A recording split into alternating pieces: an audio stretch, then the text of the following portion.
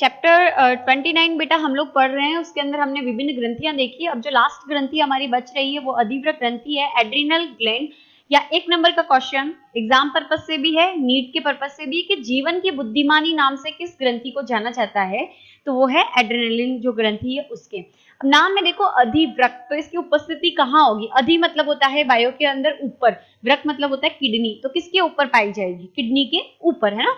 तो अधिव्रक ग्रंथि है, यानी किडनी के ऊपर ये टॉपिक के समान, ये हमारी व्रक है या किडनी है, दोनों जो किडनीज होती है, उन दोनों के ऊपर दो अधिव्रक ग्रंथियाँ पाई जाती है। ये किडनी है तो इसके ऊपर ऐसे टोपी के समान स्ट्रक्चर होती है, ठीक है?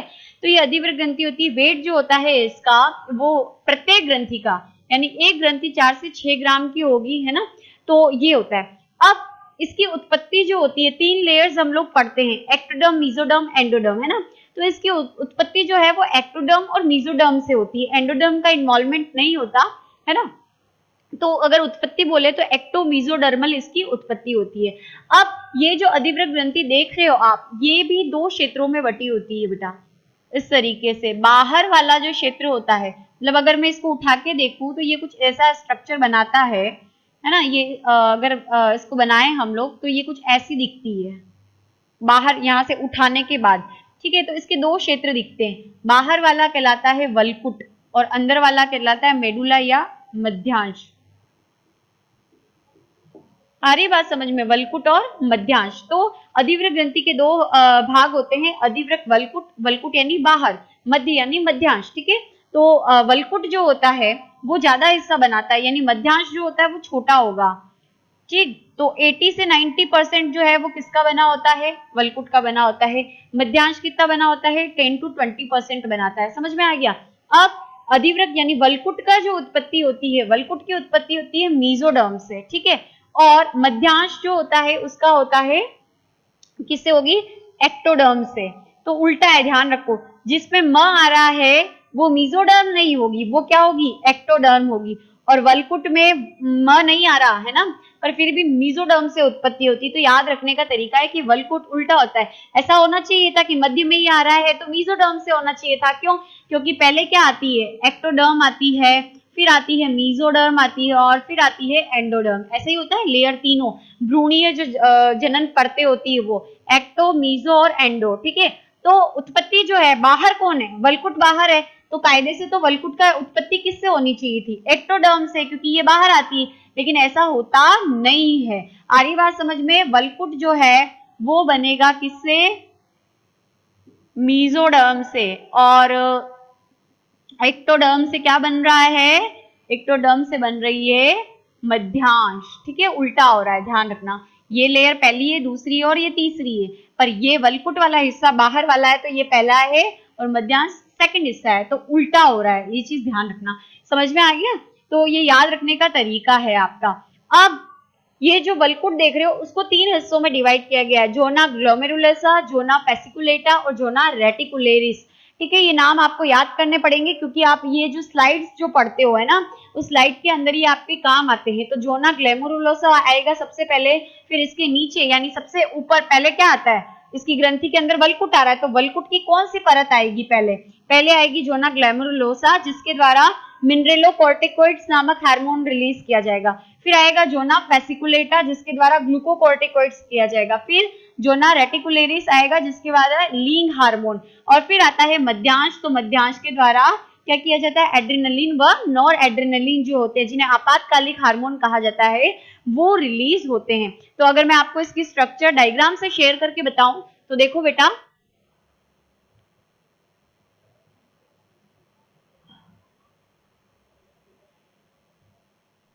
डायग्राम के अंदर आप लोगों को ये देखो। स्क्रीन शेयर जो मैं कर रही हूँ सामने, ये आप डायग्राम देख रहे हो ना? ये। तो इसके अंदर जो सबसे पहली लेयर आ रही है है ना? ये पहली लेयर जो है क्लियर आपको नहीं दिख रहा तो मैं शोर्ट ही कर रही हूँ। तो सबसे पहले जो ये आएगा, संपुट, एक बाहर आवरण पाया जाता है अधिव्रत ग्रंथि के, वो क्या कहलाएगा? जो संपुट है, वो कहलाएगा, ठीक है? उसके बाद जो लेयर आएगी, कौन सी है सामने हमारे? जोना ग्लैमुरुलोसा आएगी। तो ये जो, ये कोशिकाएँ जो आपको दिख रही है, वो जोना ग्लैमुरुलोसा की है। फिर उसके बाद क्या आएगा? Zona fasciculata. तो ये जोना ग्लैमुरुलोसा ये हो गई ब्लू ब्लू, ठीक है? फिर ये थोड़ा पर्पल कलर में जो दिख रहा है आपको, वो क्या हो गई? Zona fasciculata. और जोना फोसिकुलेटा के बाद क्या आएगा? Zona reticularis. तो ये जोना रेटिकुलेरिस, ये ग्रीन वाली जो आपको दिख रही है, ठीक है? और फिर यहाँ पर एंड में जो है वो आपके क्या है, मध्यांश यानी मेडुला, ये वाला। तो ये बाहर तो आ गया संपुट, यानी ये आवरण बनाता है, ठीक है? फिर उसके बाद ये पूरा, ये जो तीन आप हिस्से देख रहे हो, ये किसके हैं? ये ग्लोमेरुलस हो गया रेटिकुलेरस हो गया, और कौन सा हो गया? फेसिकुलेटा हो गया, है ना? तो zona glomerulus glomerulus zona fasciculata और जोना रेटिकुलेरस जो है, वो ये तीन हिस्से हो गए, जो ब्लू कलर में है जो पर्पल कलर में है और जो ग्रीन कलर की सेल्स में है। फिर ये जो आपको थोड़ा सा अजीब सा कलर दिख रहा है, न तो ऑरेंज में आ रहा है, ना पिंक में आ रहा है तो ये नीचे जो गंदा सा कलर आपको दिख रहा है, ये मध्यांश का है, ठीक है? यहाँ पर ये ऊपर आपको जो दिख रही है, ये तो है धमनी, और ये जो नीले कलर की दिख रही है, वो है शीरा, ठीक है? तो ये मेडुलरी शीरा है और ये क्या है? कैपिलरी आर्टरी तो ये चीज़ आपको इस तरीके से अनुप्रस्थ काट के अंदर आपको क्या होता है? डायग्राम देखने को मिलता है। तो ये अधिवृत ग्रंथि और अगर इसको हम हटा के देखते हैं तो ये इस तरीके का डायग्राम हमको मिलता है। और इसको अपन जब काटते हैं तो अपने को इस तरीके की स्ट्रक्चर्स मिलती है। तो दीज आर इम्पोर्टेंट अब ये यहाँ पर देख लो। छोटे में अगर हम देखते हैं तो ये ब्लू कलर ये पर्पल कलर तो ये तीन जो सेल्स हैं वो तो क्या बना रही है, वलकुट? और ये एक है, ये किसका बना रही है? मध्यांश का निर्माण कर रही है। तो ये आपके इंपॉर्टेंट है।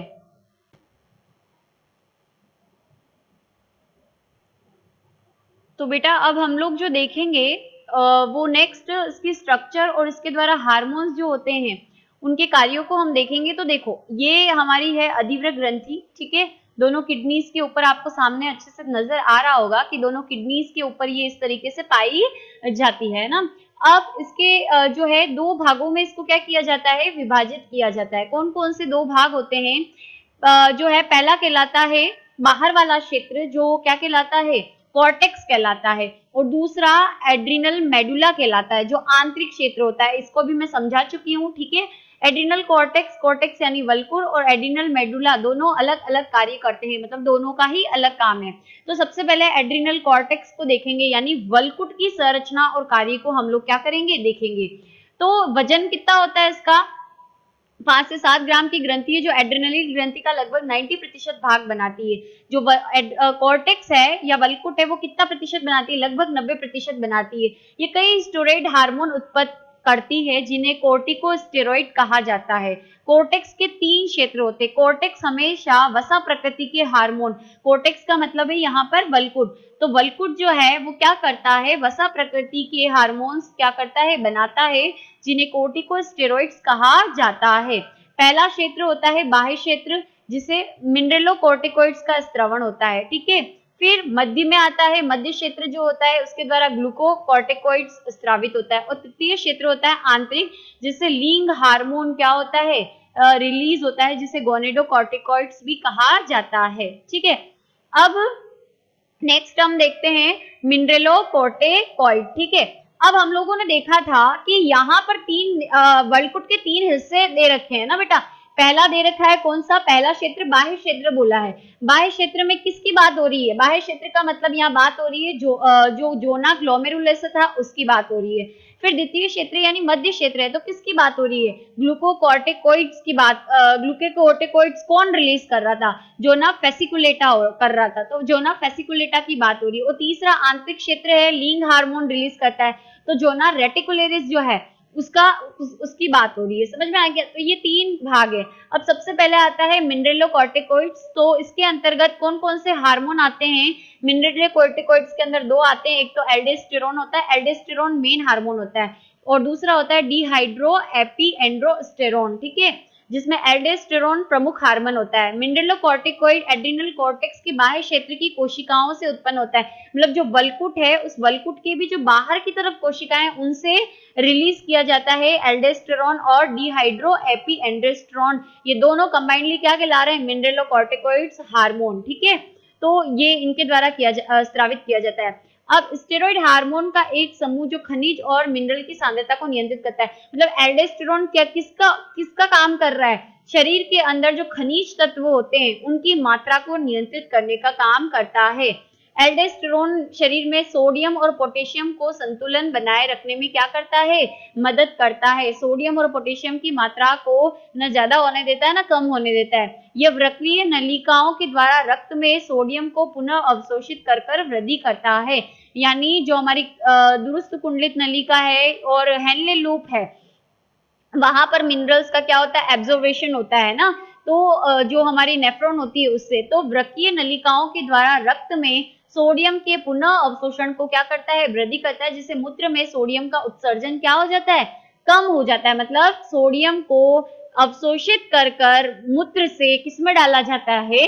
रक्त में डाला जाता है तथा पोटेशियम का उत्सर्जन बढ़ा देता है। यानी पोटेशियम को मूत्र में से बाहर निकालने का काम करता है। यह श्वेत ग्रंथियों यानी जहाँ से पसीना निकलता है पर भी क्रिया करता है जिससे शरीर द्रव्यों में इलेक्ट्रोलाइट्स का संतुलन बना रहता है। इलेक्ट्रोलाइट्स हमारे यही होते हैं जो खनिज तत्व होते हैं ना? तो उनकी मात्रा को संतुलित करने का क्या करता है? काम करता है। एल्डेस्टेरोन की अधिकता से या अधिक स्त्रव से उच्च रक्तचाप, यानी हाई ब्लड प्रेशर की बीमारी हो जाती है और रक्त में पोटेशियम की कमी को हम हाइपोथेलेमिया कहते हैं। अगर शरीर में पोटेशियम कम हो जाता है, शरीर में झुंझुनी, सुई चुभन, कमज़ोरी, चक्कर आना, ठीक है, और जो बाहर का इन्वायरमेंट चेंज हो रहा है, वो असंवेदना, ये सब फील होता है, वो चेंजेस हमको फील ही नहीं होते समझ में आ गया? अब दूसरा हार्मोन जो आता है, वो आता है ग्लूकेकॉर्टिकॉइड जो कि कौन स्त्रावित करता है? वलकुट का फेसिकुलेटा भाग, यानी मध्य वाला जो भाग है, वो करता है, ठीक है? एड्रिनल कॉर्टेक्स के मध्य क्षेत्र से स्त्रावित होने वाला हार्मोन है, ये रक्त शर्करा, यानी रक्त में ग्लूकोज की सांद्रता को नियंत्रित करता है। ये दो तरह के होते हैं कौन कौन से? कॉर्टिसोल और हाइड्रोकॉर्टिसोन और दूसरा है कॉर्टिकोस्टेरॉन समझ में आ गया? तो इसका काम, पहले वाले का काम था खनिज, यानी सोडियम और पोटेशियम की मात्रा को नियंत्रित करना। खनिज जो होते हैं, उन्हें मिनरल्स कहते हैं, इसीलिए उसका नाम मिनरेटोकॉर्टिकोइड्स है। दूसरा किसको संतुलित कर रहा है? ग्लूकोज की मात्रा को। तो क्या कह रहे हैं? ग्लूकोकॉर्टिकोइड कह रहे हैं। तो कॉर्टिसोल और हाइड्रो हाइड्रोकॉर्टिसोन और कॉर्टिकोस्टेरॉन से मिलकर क्या होता है? इसका निर्माण होता है। अब देखो इसका काम क्या है? ग्लूकोज की सांद्रता का नियम कर, नियमन करने के अलावा ग्लूकोकॉर्टिकोइड सभी तरह के भोज्य पदार्थ जैसे कार्बोहाइड्रेट प्रोटीन वसा आदि के उपापचय को प्रभावित करते हैं। मतलब इनके पाचन में इनके निर्माण में ठीक है काम करता है। कौन करता है? ग्लूकोकॉर्टिकोइड ठीक है? जो कि दो हार्मोन से मिलकर बना हुआ है कोर्टिसोल हाइड्रोकोर्टिसोन और कोर्टिकोस्टेरॉन ठीक है? अब उसके बाद आता है, यह एंटी इन्फ्लेमेटरी एजेंट की तरह कार्य करता है। इन्फ्लेमेशन का मतलब होता है बेटा सूजन। तो सूजन को कम करने का काम करता है। ये वृद्धि को भी काफ़ी हद तक प्रभावित करता है। शरीर की वृद्धि को प्रभावित करता है। ये शारीरिक एवं मानसिक तनाव के प्रभावों को भी क्या करता है? कम करने में मदद करता है। यकृत के द्वारा संग्रहित प्रोटीन को ग्लाइकोजन में परिवर्तित करता है तो ग्लूकोज का यानी प्रोटीन यानी एमिनो अम्ल से ग्लाइकोजन में परिवर्तन होता है। इस क्रिया को हम ग्लूकोनियोजेनेसिस कह रहे हैं, है ना? तो ग्लूकोनियोजेनेसिस का मतलब होता है ग्लूकोज का निर्माण। तो एमिनो अम्ल से ग्लूकोज का निर्माण होता है ग्लूकोनियोजेनेसिस।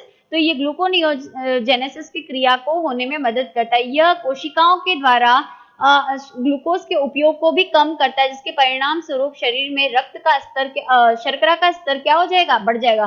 क्यों? क्योंकि अगर रक्त के अंदर जो शर्करा है, ग्लूकोज है, अगर उसको कोशिकाएँ ले लेगी तो लेवल कंप्लीट रहेगा। लेकिन क्या होगा? अगर कोशिकाओं के द्वारा ग्लूकोज को ग्रहण नहीं किया जाएगा तो रक्त में शर्करा की मात्रा क्या हो जाएगी? परंतु पेनक्रियास के द्वारा संदीपन के प्राय संतुलित हो जाता है। लेकिन पेनक्रियास के द्वारा इंसुलिन क्या किया जाता है? रिलीज़ किया जाता है। जिसकी वजह से क्या होता है? ग्लूकोज की मात्रा क्या होती है? संतुलित हो जाती है।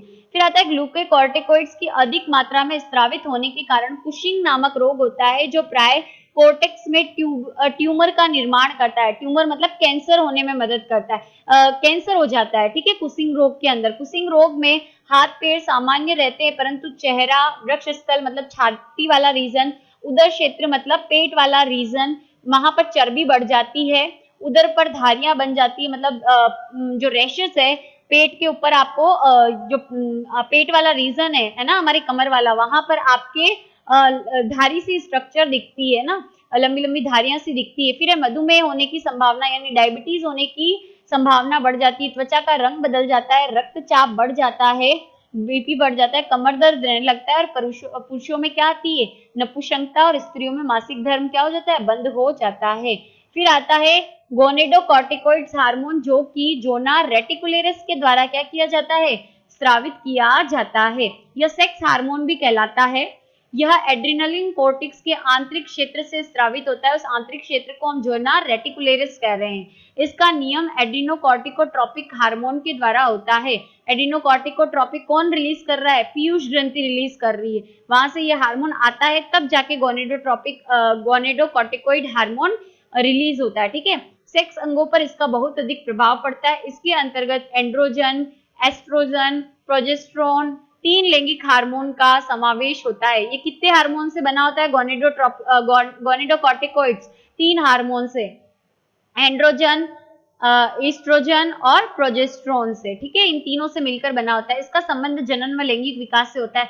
कल मैंने पढ़ाया है कि प्रोजेस्ट्रोन का क्या काम होता है एस्ट्रोजन का क्या होता है एंड्रोजन का क्या होता है। तो वो आप देख सकते हो, ठीक है? इसका प्रभाव वृषण व डिम्बाशय यानी अंडाशय जो होता है, उसके द्वारा स्रावित हार्मोन पर भी होता है। ये पुरुष एवं स्त्रियों के प्रजनन अंगों के कार्य को क्या करता है? प्रभावित करता है। समझ आ गया? इस हार्मोन के अति श्रावण से अगर ज़्यादा स्रावित हो जाता है तो लैंगिक परिपक्वता पहले आ जाती है। स्त्री में द्वितीय जो अगर स्त्रियों में ज़्यादा रिलीज़ होता है, ठीक है लिंग हार्मोन तो उसमें पुरुषों के गुण आना शुरू हो जाते हैं। मतलब आवाज़ में भारीपन आता है जो स्तन होते हैं, उनकी आकृति छोटी हो जाती है, दाढ़ी मूछ आना शुरू हो जाती है। तो ये इस हार्मोन की वजह से होता है लिंग हार्मोन की वजह से।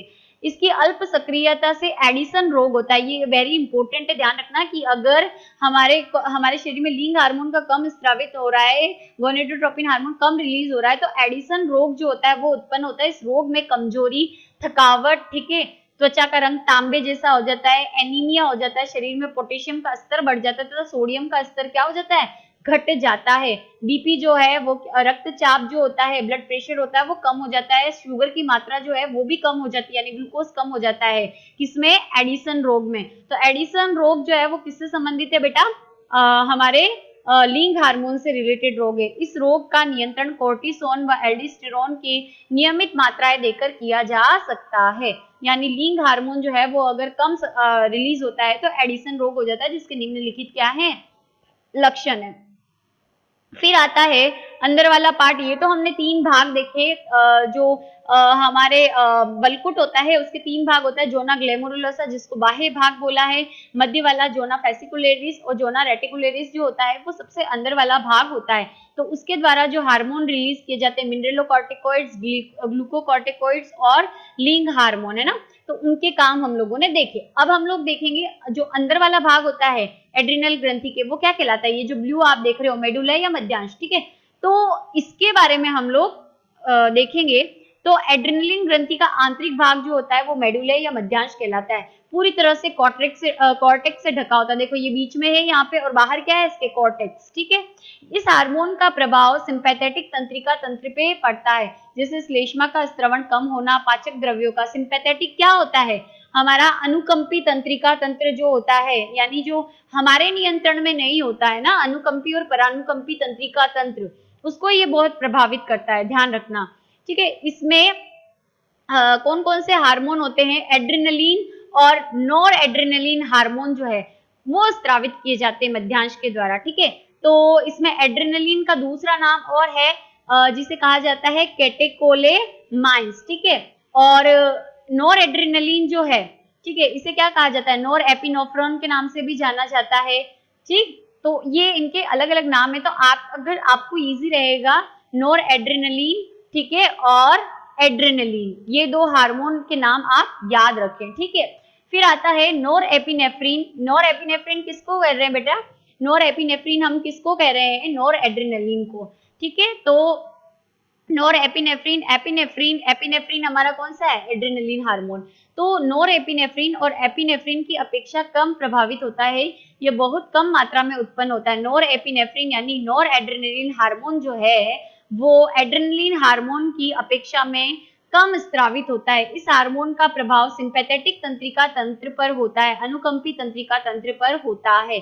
जैसे श्लेष्मा का स्त्रवण कम होना, पाचक द्रव्यों का स्त्रवण, यानी पाचक जो एंजाइम होते हैं, वो कम स्त्रावित होते हैं। हृदय की गति तीव्र होती है, श्वास नली का फैल जाना, लार का गाढ़ा होना, चिपचिपा होना, रक्त वाहिनियाँ जो होती, धमनी और शिरा उनका सिकुड़ना, पसीना बढ़ जाना, ठीक है? ये सब जब होता है, जब हम क्या होते हैं, आपातकाल की स्थिति में होते हैं, या हार्मोन किसी उद्दीपन के प्रति तुरंत प्रतिक्रिया करते हैं, या कुछ स्थितियों में लड़ो या भागो प्रतिक्रिया के लिए शरीर को क्या करते हैं, तैयार करते हैं। तो यहाँ पर एड्रेनलिन के कार्य बताए गए हैं। क्या करता है एड्रेनलिन हार्मोन? जिसे एपिनेफ्रिन कह रहे हैं, हृदय की रक्त वाहिनियों को विस्तारित करता है, यानी फैलाता है। हृदय की धड़कन की दर की शक्ति को बढ़ाता है। यानी हार्ट बीट को बढ़ा देता है। हृदय की कार्टिक आउटपुट यानी एक बार में जितना ब्लड क्योंकि हार्ट बीट बढ़ गई है तो ब्लड भी जार जार बार बार पंप होगा। ठीक है? तो जो, जितना ब्लड एक बार में आता है, उससे ज़्यादा ब्लड को रक्त क्या करता है? पंप करता है। कंकाली पेशियों को रक्ता रक्तापूर्ति करने वाली धमनियों को विस्तारित करना और उनमें होने वाली थकान की दर को कम करना। कंकाली पेशियाँ जो होती है, जो कि किससे जुड़ी होती है हमारी मस हड्डियों से जुड़ी होती है। उनमें धमनियाँ जो जुड़ी हुई होती है, उन मसल्स में धमनियाँ जो पाई जाती है, उनको फैला देता है, जिससे थकान क्या हो, हमें कम हो। श्वास नलिकाओं को विस्तारित और श्वास दर को बढ़ाता है। पाचन संस्थान को चिकनी पेशियों के संकुचन को रोककर शिथिलता उत्पन्न करता है। फिर है, उपापचय दर को बढ़ाता है। उपापचय दर यानी बीएमआर को बढ़ाता है। यकृत एवं पेशियों में स्थित ग्लाइकोजन को किसमें बदलता है? ग्लूकोज में बदलकर रक्त में शर्करा का स्तर बढ़ाना तथा पेशियों में लैक्टिक एसिड के स्तर को क्या करता है? बढ़ाता है। नोर एड्रेनलिन या एपिनेफ्रिन के कार्य हैं। फिर उसके बाद है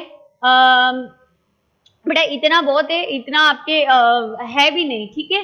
तो ये इतना जो अगर हम लोग देखते हैं तो ये हमारी अधिव्रत ग्रंथि जो है, उसके द्वारा स्रावित होने वाले हार्मोन्स के विभिन्न कार्य है और कुछ एक रोग देखे। रोग के लिए मैं आपकी अलग से क्या कर दूँगी? वीडियो बना दूँगी।